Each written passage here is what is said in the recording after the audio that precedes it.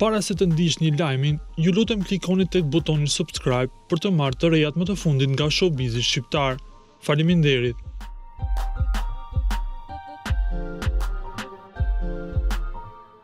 Kanë kaluar vetëm pak ditë nga aksidenti famëkeq i autobusit me shqiptarë në Bullgari. Derisa po ktheheshin nga Turqia, dyzet e pesë shqiptarë humbën jetën dhe shtatë të tjerë u lënduan. Kjo ngjarje ka prekur të gjithë, ndërsa ditë zie u shpall në tri shtete.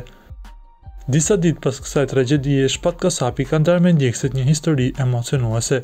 Ai ka parë të shpërndahet në rrjetin social TikTok një mesazh ku citohet se si babai i tij i ndjerë kishte ndihmuar disa njerëz nga një aksident të ngjashëm që kishte ndodhur rreth dyzet vite më parë, çuditërisht në po të njëjtin vend.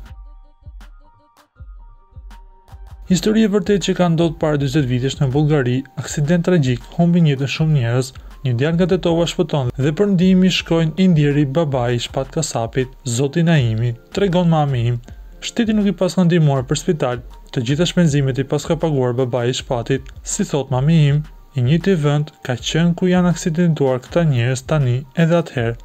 Shkruhet në mesazhin që këngëtari ka ndarë me ndjekësit.